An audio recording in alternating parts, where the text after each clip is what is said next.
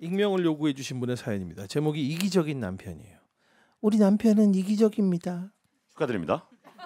내 생일은 기억 못해도 자기 생일은 일주일 전부터 계획을 짜고요. 아하. 평소 남편이 가장 많이 하는 말은 나도 그래.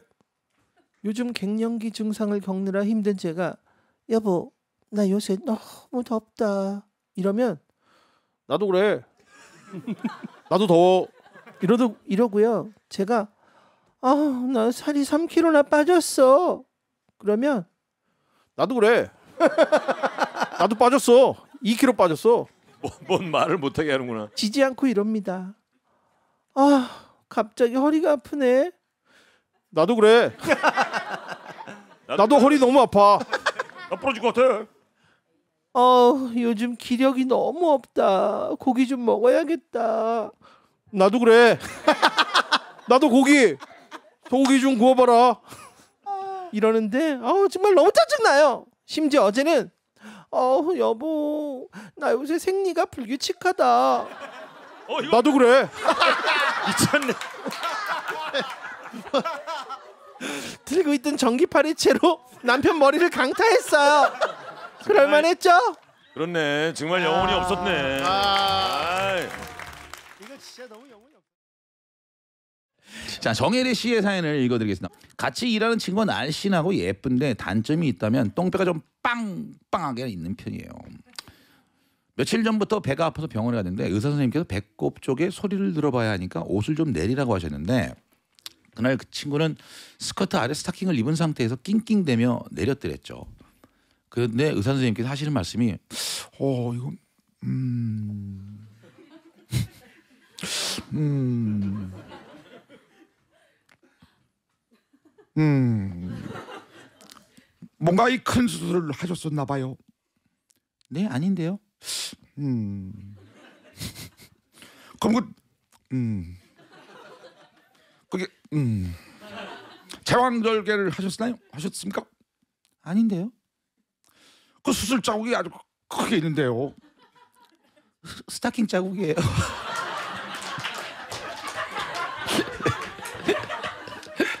끝났어 얘기가. 웃긴 건 끝났어 이제. 더 없어 봐봐 끝났어. 나도 뭐가 더 있을 줄 알았다. 내 끝났어. 좀 아쉽다 그지? 재밌긴 한데. 현정이란 이름으로. 저는 큰 병원에서 일하고 있는 신입 간호사예요. 그날도 3교대로 밤 근무를 하느라 피곤하고 지쳐있던 하루였죠. 우리 간호사분들은 진짜 고생 많죠. 아 네. 진짜 주야 주야 주야 음. 막 이렇게.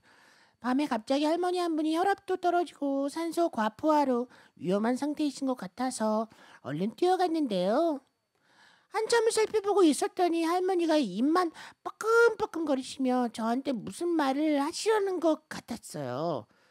아, 이게 어떡하나 마지막 유언인가 싶기도 하고 아, 긴장되고 떨렸는데 할머니가 제 귀에 나지막히 말씀하셨어요. 근데 뻐끔뻐끔 하시고 있는데. 음. 뭘 쳐다봐.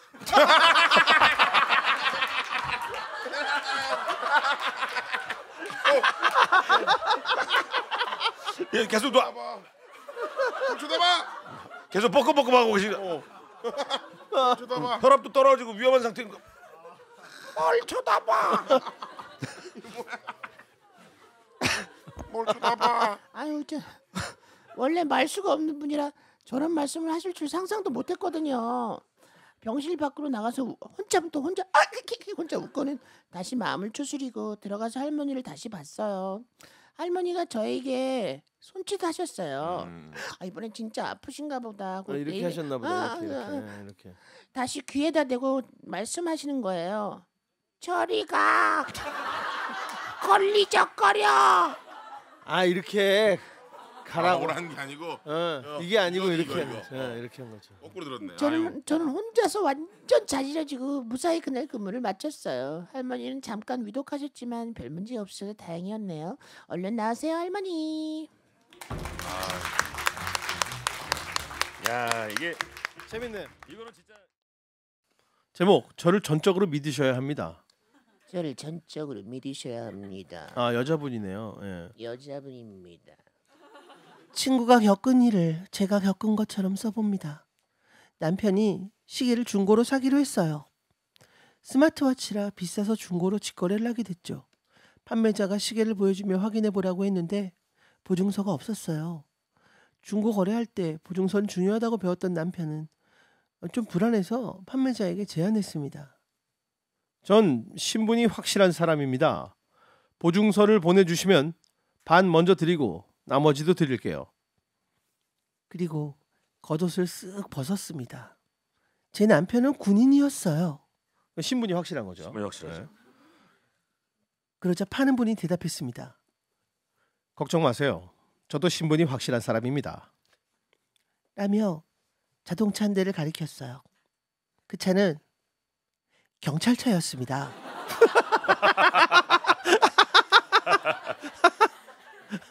서로 믿음하에 거래를 완료했다고 하네요.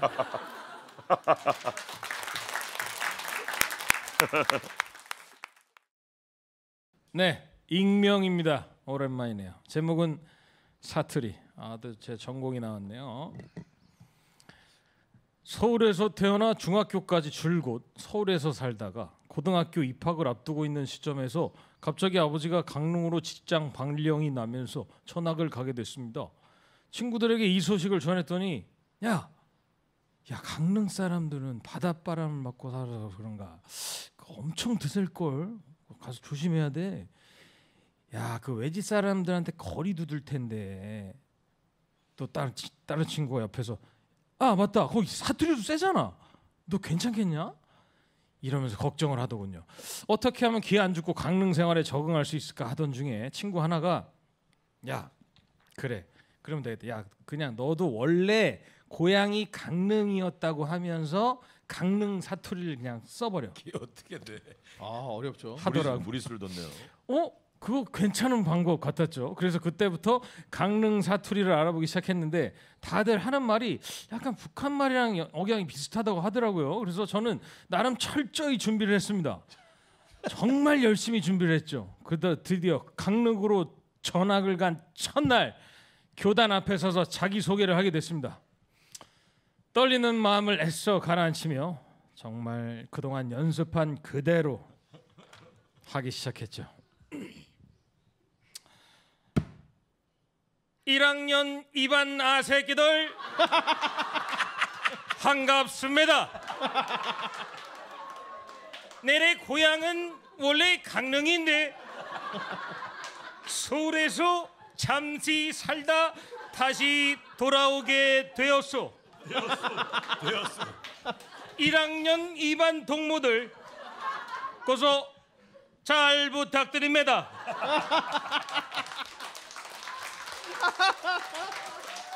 일순간 교실 분위기는 급격하게 얼어붙기 시작했고 쉬는 시간이 되자 친구들이 와서 조심스럽게 말을 걸었죠. 야 너 혹시 북에서 왔니? 탈북했어? 더 놀라운 건 강릉 친구들 모두 완벽한 서울말을 쓰고 있었다는 사실이었습니다. 알고 보니 이젠 토박이 어르신들 빼고는 대부분 다 표준어를 쓴다고 하더라고요. 정말 창피했습니다.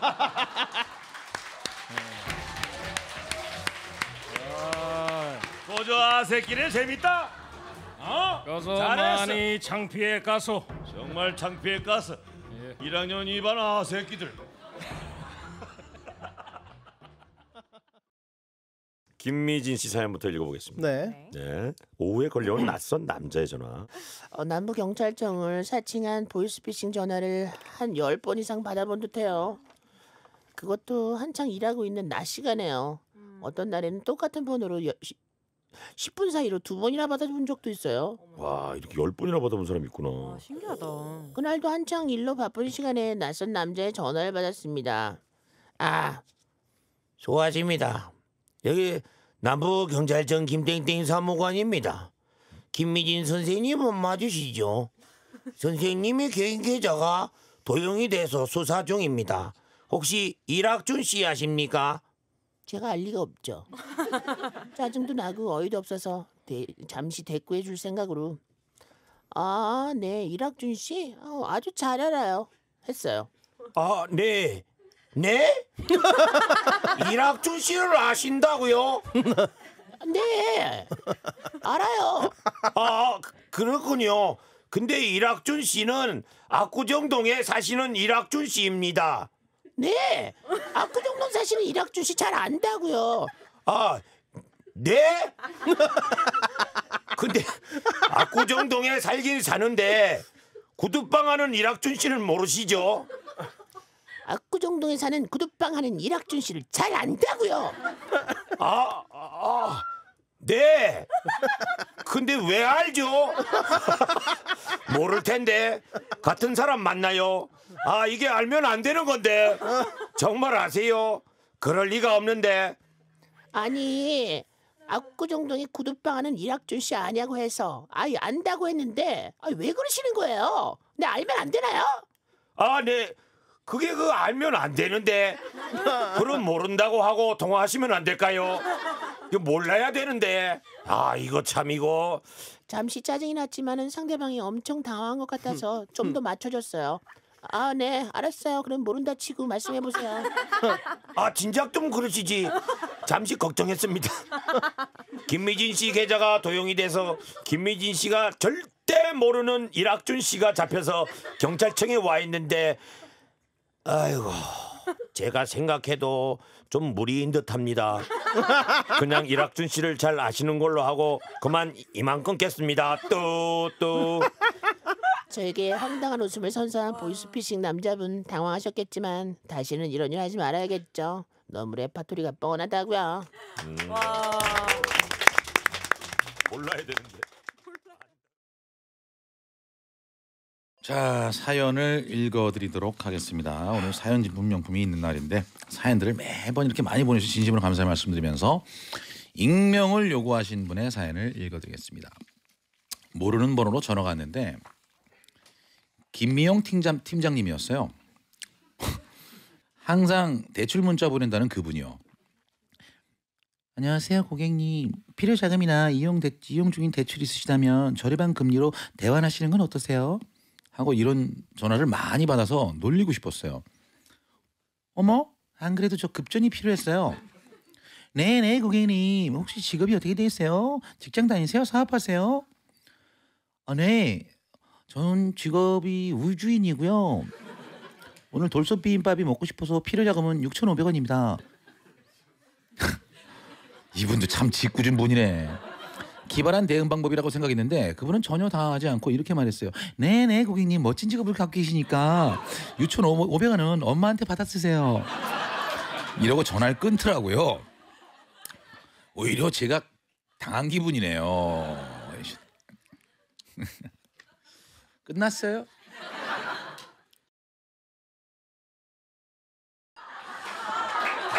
자, 김은진 씨의 사연을 읽어드리도록 하겠습니다. 제가 감수성도 예민하고 마음도 여리고 장래희망의 선생님이었던 중학생 때 일이었어요.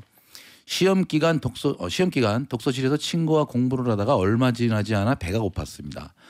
배가 고팠습니다. 한참 많이 먹을 때니까요. 친구랑 신이 나서 뭐 먹지? 라면 먹을까? 떡볶이는 어때? 까르르 하면서 어머 까르르 했구나. 떡볶이 먹을까? 까르르. 이럴 때가 있어 맞아. 까르르 할 때 있다니까. 계단을 내려가는데 아우 까르르. 오랜만이다 깨아르르. 음 저희 학교 남자 선배 두 명이 계단을 올라오고 있었어요. 잘생긴 훈남 선배들을 보니까 깨아르르. 저희들은 약속이라도 한 듯이 먹던 이야기를 멈추고 잔뜩 수줍은 채로 조심스럽게 계단을 내려갔어요. 당시 독서실 계단은 두 명이 서면 꽉 차는 조금 좁은 계단이었는데 서로 한 줄로 서서 몸을 조금 비켜 비켜가며 스쳐 지나가야 하는 계단이었죠. 저는 몸을 살짝 들어 최대한 여성스럽고 귀엽게 계단을 막 내려가고 있었는데 계단을 막 내려가는 순간 저는 계단 모서리를 슬라이드하면서 미끄러졌어요. 유유유유유 죽는다. 난 죽는다. 여기서 미끄러지면 난 죽는다. 죽는다. 깨르는 끝이다. 미끄러지고 있던 찰나 짧은 찰나의 순간 여기서 미끄러지면 정말 죽을 것 같았어요. 저는 살고 싶었어요. 뭐라도 잡아야 뭐라도 잡아야 해. 살아야 해. 잡아야 해. 저는 손을 허우적거리며 무언가를 잡았어요. 탁 잡는 순간 살아야 해. 꽉 잡아야 돼. 놓으면 안 돼. 꽉! 꽉! 꽉! 잠깐의 정적 후 내가 살았나 싶어 눈을 떠보니 저는 앞에 올라오던 남자 선배의 젖꼭지를 양손으로 양손으로 힘껏 세게 꽉 거의 잡아 뜯듯이 주먹으로 꽉 제가 살고 싶다고 생각한 만큼 꽉! 꽉 찐 채 서 있었어요. 모두 놀라서 저를 쳐다보고 있었죠. 1초, 2초. 뒤늦게 저에게 젖꼭지를 뜯기던 남자 선배는 으아!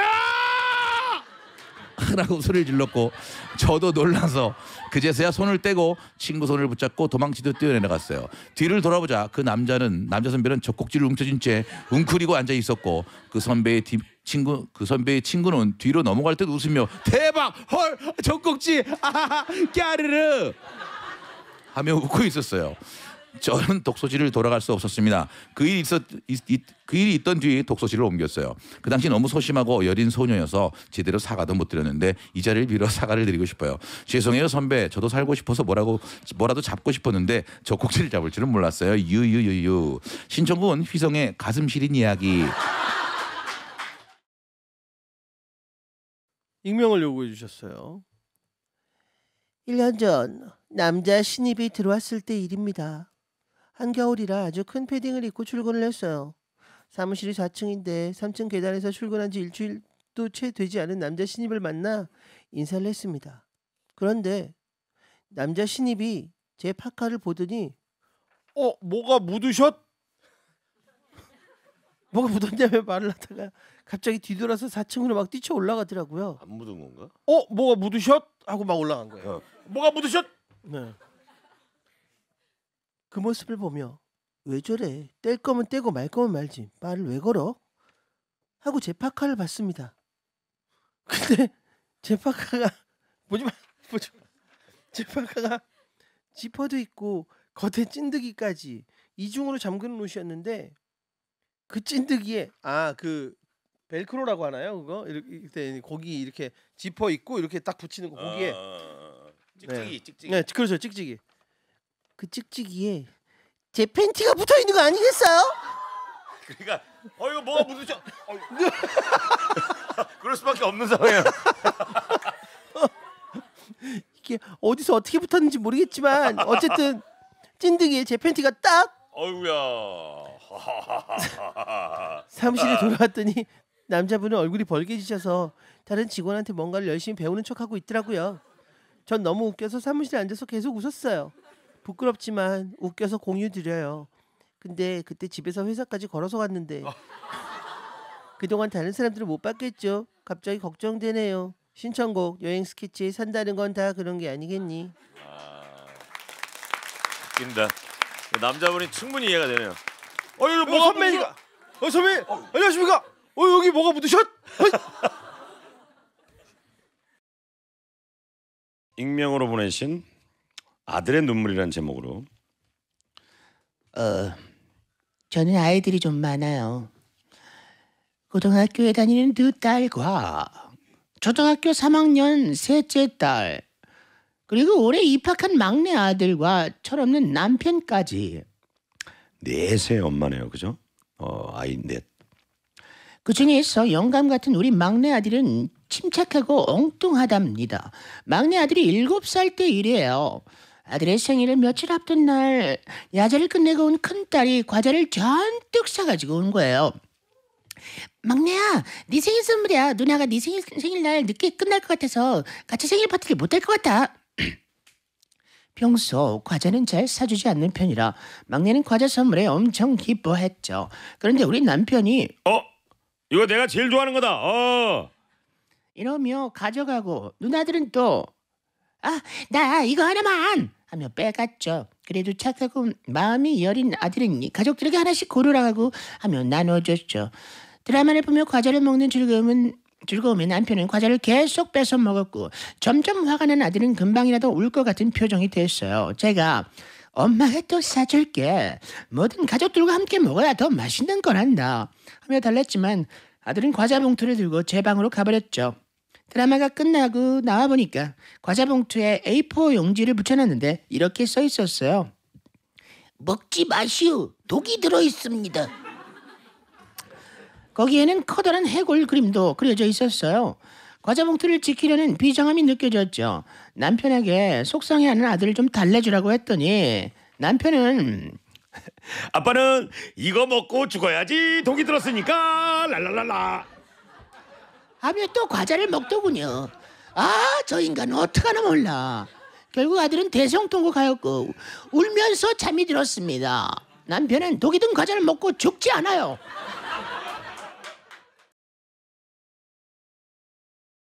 중요한 순간에라는 제목으로 문유진 씨의 사연입니다. 제 남자친구는 별명이 직장 이 선생이에요. 밥 먹으면 바로 화장실로 직진하는 배변 습관을 가지고 있거든요. 먹으면 바로 가는 아, 그런, 분들이. 그런 직장들이 있죠. 네. 처음에는 장이 좀 예민한가 보다 했는데 어느 날 남자친구와 다퉜을 때였어요. 자기야 어떻게 그럴 수가 있어? 왜 거짓말을 하냐고? 상황이 꽤 심각했어요. 이별을 결심할 만큼요. 그런데 남친이 갑자기 화를 내다 갑자기 아 그래 아 됐어 아 그만 좀해나똥 싸올 테니까 저 진짜요? 어 진짜요? 아 그만 좀해나똥 싸올 테니까 처음에는 어이가 없었어요.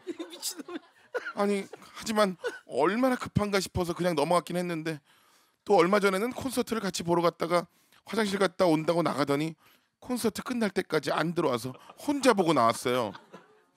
이게 똥 때문이라 기분 상해 할 수도 없고 어, 엊그제도 심각하게 싸우는데 남친이 또 너는 너 맨날 그런 식이야. 너는 네 생각만 해. 어? 하, 됐다. 이따가 얘기해. 나 똥 싸올 테니까. 그러면 똥! 똥! 똥! 참으면 안 돼! 똥! 화내고도 왠지 비참했어요. 중요한 순간에 꼭 똥 싸러 가는 남자친구 때문에 우프네요 하셨습니다. 야 그래도 네가 그래도 사람이야. 어? 내가 뭐 야 진짜 이, 가만있어 똥 싸올 테니까. 싸고 만나 싸고 만나라고! 수진 씨입니다. 제가 운영하는 카페에 글을 올렸는데요. 컬투쇼에 한번 보내보라고 하더군요. 안녕하세요. 저는 44세 여인이에요. 초등학교 5학년 딸내미를 키우고 있죠. 리을 발음이 안 돼서 슬픈 아줌마입니다. 리을 발음 중에서도 로, 루, 러는 진짜 더럽게 안 돼요. 아주 공포스럽게 안 돼요. 학교 다닐 땐 그래도 친구들이 귀여운 척 한다고 봐주는 것 같았어요. 근데 직장 생활을 하면서 불편함이 생기기 시작했죠. 참다 참다 아우 진짜 회의가 안 될 지경이라 구강 외과를 찾아갔어요. 아이고 이게 좀 혀가 다른 사람보다 더 기네요. 에, 혀가 길어서 발음 발음이 안 될 수도 있나요? 그러게요. 이런 경우 제가 처음 봅니다만은 아 어, 혀가 짧은 게 아닌데요. 혀가 길어서 그렇구나. 아무튼 가장 짜증이 날 때는 지하철역 이름을 말할 때입니다. 집은 부천이고 회사는 강남이라 음, 퇴근하고 친구들이랑 부천에서 자주 모임을 했는데요. 꼭 신도림이나 구로역에 도착하면 어디냐고 전화가 와요. 짜증나게. 신도림 구로. 신도림 구로. 야 어디야 신도딤 아유 어디냐고 신도딤 이러다 보면 다음 역인 구로에 가 있죠 어? 야. 어, 아, 아, 나 방금 구도 왔다 구도 아 그러니까 어디쯤 왔냐고 구도 아씨 어디쯤 왔냐니까 야 뒤질래 야 시기를 이게 글파스클 슈퍼스클. 20분 걸려 20분! 왜 짜증을 내? 내가 못 쳤다 그래 너한테? 다행히 차를 사게 되면서 드디어 신도림과 구도의 공포에서 벗어날 수 있었어요. 그런데 아이를 낳으면서 저희 두 번째 발음 역경이 시작됐습니다. 아, 우리 딸. 와, 야 대박이다 이거. 야, 우리 딸 와. 엄마가 책 읽어줄까요? 그래서 뽀도도는 야, 뽀도 야 이거 야 이거 힘든데 이 이거. 뽀도도는 신이 났대요. 친구들과 뽀도도는 사이좋게 놀았답니다. 뽀로로인데 제가 뽀도도라고 하니까 저희 딸도 그냥 걔를 뽀도도라고 해요. 우리 아, 딸, 뽀도도다. 와 우리 딸 말해보고 싶어요? 개구리 중사 캐도도 볼까요? 좋아요, 좋아요, 캐도도 볼래요. 캐로로인데요. 지금도 저희 딸은 캐도도라고 해요. 그렇게 시간이 흘러 아이는 자랐고 이제 뽀로로 세상에서 벗어나나 했는데 며칠 전에 또 다른 로로 세상을 만났어요. 응? 디- 디자인 작업할 때 사려고 태블릿인 아이패드 프로를 알아보고 있었죠. 마트에서 장을 보고 옆에 있는 전자제품 매장에 갔어요. 어, 여기 아이패드 푸도도 있나요? 아이패드 푸도 있나요? 네? 아이패드 푸도요. 아이패드 푸도. 네? 하이패드 하이패드요? 어떤 모델을 보고 싶으신데요? 네, 아이패드 푸도. 모델을 말씀해 주시면 찾아드리겠습니다. 아이패드 신형이야, 신형. 신형 최신형. 아 프로요. 저희 매장에는 없어요. 이런 우라질 진작에 없다고 하든가. 이런 진작에 진작에 없다고 하든가 이런 아우 진짜. 주차장에서 한참 동안 푸도 푸도 연습했지만 되지 않았어요. 아, 이상 혀가 길어서 슬픈 아줌마의 사연이었습니다. 아유. 아. 자 김대훈 씨의 사연을 김대훈 씨입니다. 네 소개해드리겠습니다. 평소에 노래에 자신 있는 30대 남자입니다. 지인들 결혼식 때 축가도 자주 부르고 대학가요제 참가 경력도 있는데요. 어이, 잘하나 보네 노래를. 우연히 동네에서 열리는 가요제 현수막을 보게 됐어요. 상품은 가전제품, 농수산물 상품권 등등으로 풍성했습니다. 조금이나마 가게 보탬이 되고자 참가를 결정했죠. 여보세요? 가요제 참가 신청하려고 하는데요. 네네 사는 곳이 노원구 맞으시죠? 네, 참가곡은 존니입니다. 네? 좋니요? 네, 존니요. 윤종신의 존니 모르세요? 엄청 히트곡인데. 네 좋니 말씀이시죠? 네, 네, 존니요. 아프다 하는 존니요. 네네 접수됐습니다. 전화를 끊고 저는 맹연습에 들어갔고 하루 종일 존니만 듣고 하루에 100번씩 존니를 불렀습니다. 이상한 약간 어감이 이상하네. 좀 붙으니까 이상하네. 네.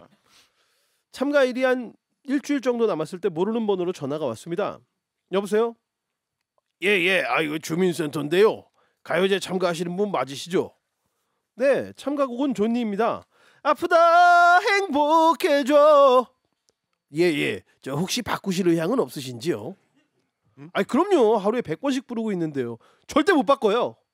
예 예, 알겠습니다. 예. 조금 이상했지만 저는 더 열심히 연습했고 예심 당일이 되었습니다. 예심장엔 연세가 지긋하신 지긋하신 노인분들로 북적거렸고 딱 봐도 제가 가장 어려 보였어요. 신명나는 어르신들의 무대가 이어졌고 드디어 제 차례가 됐습니다. 진행자분은 잠시 저를 노려보시더니 저를 소개했어요. 에, 이번에 가요제 때 최신곡으로 참가 신청하신 분이 있어서 노래방 기계를 바꾸게 됐습니다. 가뜩이나 예산도 부족한데 에이 끝까지 고집을 부르셔서 어디 얼마나 잘 부르는지 한번 보시죠. 에이! 등 뒤에서 식은땀이 흘렀고 전 열심히 노래를 불렀지만 분위기는 가뿐 쌓였어요. 박수 소리 하나 들리지 않았어요. 저는 황급히 자리를 빠져나왔고 합격자 합격자 명단을 보고 제 실수를 깨달았습니다. 합격자 명단 칠갑산의 김갑석 고향의 어머님의 최말순 신라의 달밤 최복동 동백아가씨 이간난 서울의 찬가 박끝순 그 속에서 저는 꿋꿋하게 존니를 부르고 예선 탈락을 했습니다. 아, 이 그랬구나. 선곡이 잘못됐네. 아, 노래방 기를 바꾸셨는데. 동네인데. 아이. 아, 아 안타깝네요. 어르신 노래자랑 이런 느낌으로 갔어야 되는데. 강유경 씨 눈물의 결혼식 컬투 때문이에요. 어? 뭔지 뭔, 뭔 사연인가요? 어, 결혼한 지 딱 1년이 된 새댁입니다. 아, 기념일을 을, 맞아 거실에 쪼그리고 앉아 예식 영상을 돌려보다가 사연을 올려봐요. 제가 워낙에 컬투 노래를 좋아해서 몇 년 전 지나가는 말로 오빠 나중에 우리 결혼할 때 컬투 노래 불러줬으면 좋겠다. 어, 오빠 라고 했는데 남편이 정말 축가로 컬투의 사랑한다 사랑이를 부르겠다는 거예요. 사랑한다 사랑이 1절 가사가 정말 공감 간다며 불러주겠다고 했죠. 저는 사랑한다 사랑이 부분을 예쁘게 코러스 해주기로 했고요. 아 신랑 신부가 직접 둘 다 무리수를 던지네요. 예. 아니 제가 직접 신랑 신부들이 이렇게 부르는 결혼식을 봤는데 그게 성공을 거둔 건 잘 못 봤거든요. 아, 결혼식 당일 프로포즈를 대신할 축가에 흥분됐지만 차분한 마음으로 신랑을 바라봤죠. 아, 그린다, 아, 그린다, 아. 반주가 시작되자마자 신랑과 눈이 입이 벌써 실룩실룩거리면서 눈물을 그 완전 망치 이렇게 하고 있었나 봐. 코평수가 넓어지기 시작하더라고. 신랑이 그러니까 신랑이 울기 시작했다는 거예요. 이거 진짜 완전 망치는 어, 거예요. 완전 망치지. 완전 망치거든요. 그렇지. 미안해요 내 욕심 때문에 그대 아픈 결국 남편은 우느라 노래를 부르지 못했죠. 무척이나 당황스러웠어요. 정신을 차리고 보니 신랑이 보고 있던 악보를 주섬주섬 챙겨 제가 축가를 부르고 있었죠. 항상 잘하려고 생각했는데 그대 힘들게만 했었나 봐요.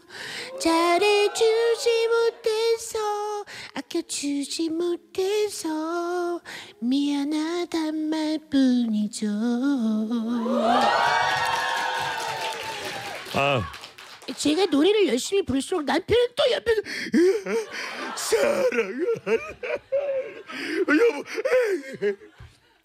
대성 통곡을 했고 하객성은 수군대기 시작했죠. 뭐야? 결혼을 억지로 하는 거야 뭐야? 아이고 여자가 마음고생을 엄청 시켰나 보네. 남자가 저렇게 우는 걸 보니까 아 나 진짜 그런 오해를 받고 진짜 결국 노래는 제가 다 완창하고 끝났죠. 오빠들 덕분에 축가 부른 신부가 됐어요. 하, 축가 부르고 있네. 아 오랜만에 강릉에서 대학을 다니는 대학생입니다. 네 서울에서 연예인 하고 있는 연예인입니다. 원래 원래 감기에 잘 걸리는 체질이라 항상 감기를 조심하면서 살고 있어요. 하지만 역시나 환절기가 다가오면 어김없이 감기가 걸리죠.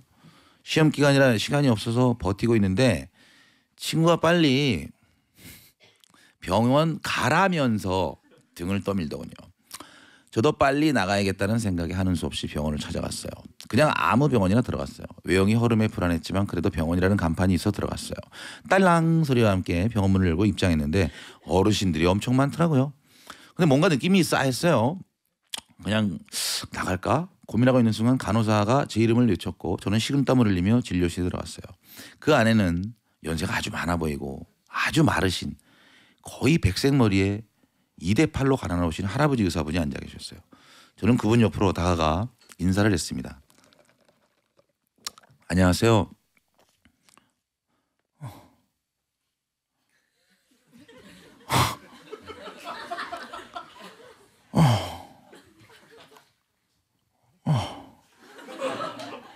어디가 아파서 왔어요. 목이 아파서요. 할아버지께서는 제가 목이 아프다고 말씀드린 그때부터 진단서에 글씨를 쓰면- 쓰면서 질문을 계속하셨어요. 어. 많이 아파요. 네. 어. 가래가 흰색이에요. 어. 누런색이에요. 약간 누런 것 같은데요? 어. 침 삼킬 때 따끔해요. 네. 5분간 이런 질문이 계속됐는데 할아버지는 제 대답을 들을 때마다 뭔가를 계속 적었어요. 할아버지께서는 더 이상 물어볼 게 없는지 진단서를 제게 주며 말씀하셨습니다. 어, 간호사한테 갖다 주고 약 먹고 안 나면 또 와요. 저는 열심히 진료해 주신 할아버지께 고개 숙여 인사를 드린 후 진료실을 빠져나와 간호사에게 진단서를 주러 가다가 뭘 그렇게 열심히 썼는지 궁금해서 슬쩍 보았습니다. 근데 그곳엔 이렇게 써 있었어요. 목 아픔, 목 아픔, 목 아픔, 목 아픔, 목 아픔, 목 아픔, 목 아픔, 목 아픔, 목 아픔, 목 아픔, 목 아픔, 목 아픔, 목 아픔, 목 아픔, 목 아픔, 목 아픔, 목 아픔, 목 아픔. 제 답을 들을 때마다 계속 목 아픔만 쓴 거예요. 전 그걸 보고 조용히 병원을 빠져나왔어요. 신청곡은 트웬티원의 아파.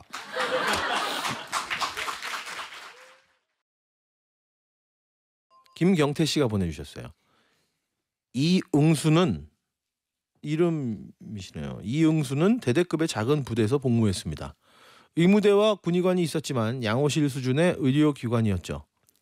이응수가 일병 때 진지공사 중에 손가락이 부러지는 사고를 당했습니다. 양호실에서는 치료가 불가능했으므로 군의관은 당장 후송을 결정하고 상부에 보고를 했죠. 그래서 이응수는 사단 의무대로 가게 됐습니다. 인솔자는 임관한 지 2개월이 채 되지 않았던 신임 소대장. 부상자는 이응수 외에도 한 명 더 있었어요. 사단 의무대에 처음 가본 소대장은 여기저기 널려 있는 영광급 장교들을 보자 몹시 긴장했습니다. 어, 군기가 바짝 든 소대장은 환자 둘을 줄 세워서 제식걸음을 시작했어요. 손가락이 아파 죽겠다는 응수에게 무서운 얼굴로 호통을 쳤죠. 야 이응수 팔 더 안 올려? 이 자식이 빠져갖고 팔각도 45도로 올려. 응수는 속으로는 욕을 하고 고통에 눈물 찔끔찔끔 흘리면서 소대장의 구령에 발을 맞췄습니다. 다른 환자는 열이 40도를 넘나드는 폐렴 의심 환자였는데 아픈 척하지 말라는 욕을 먹었죠. 어떻게 소대장은 정말 군기가 바짝 든 참 군인이었습니다. 참 군인 참 군인. 그때 저 앞에서 대령 한 사람이 걸어왔어요. 소대장은 더욱 긴장해서 발 맞추는 구령을 붙이기 시작했죠. 발 잘 맞춰. 왼발, 왼발, 왼발, 왼발. 하나, 둘, 삼, 넷. 대령이 가까이 왔을 때 소대장은 우렁차게 격려했습니다. 충성! 대령은 병원인이 살살하라고 말하며 가볍게 격려를 받고 지나갔어요. 그런데 가다가 자- 갑자기 돌아서서 우리를 다시 불러 세우는 거였습니다. 잠깐! 대령은 갑자기 약간 화난 얼굴로 소대장에게 훈계조로 물었습니다. 자네는 머리가 와 그래 기노? 어? 어? 어? 어? 연예인이가? 군대가 웃음나? 아니 난 몰랐네. 여군입니다. 나 남자인 줄 알았어. 아, 여군인데 머리 잘라면 어떻게? 아, 대령의 동공이 엄청나게 흔들렸으나 아니 남, 남자답게 생겼나 보다 여- 여군이. 예. 그런 거죠, 그런 거죠. 대령 대령의 동공이 엄청나게 흔들렸으나 인상 쓴 얼굴을 풀지 않고 잠시 소대장을 계속 바라봤어요. 이 상황에서 인상을 풀면 웃음이 터지기 때문이죠. 당- 당황함이 역력한 대령은 상황 정리할 방법을 찾다가 갑자기 옆에 있던 응수에게 다그치듯 물었어요. 에이 자네 진짜가? 진짜 아프냐고 물어본 거예요. 응수는 어금니를 꽉 깨물고 웃음을 참고 있었어요. 소대장의 소대장이 더 이상 무안하지 않게 빨리 대답을 해주고 싶었지만 어금니를 더욱 꽉 깨물고 몸만 부들부들 떨었습니다. 상황 수습을 못하던 대령 아저씨는 음, 허 참 허참 허참 허참 허참 허참 진짜 민망했나 보다. 이러면서 슬금슬금 떠나갔어요. 대령이 멀어지자 소대장이 조용히 중얼거렸어요.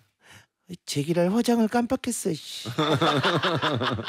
아 끝났어요? 아 화장을 했어요 여자 저. 아. 아, 아 이분이 진짜 재밌는 사연이네요 이거. 에러 에러 에러